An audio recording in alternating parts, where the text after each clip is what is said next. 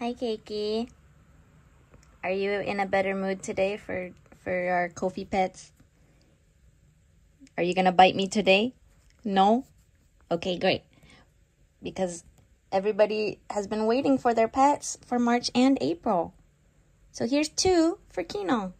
One, two. Here's two for Luke. One, two. Here's two for Jupiter. One, two.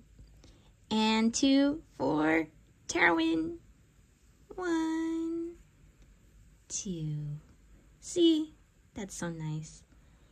Sorry, members, that we took so long to get your pets to you, but we appreciate your patience and we're very happy in our new home. See you next month.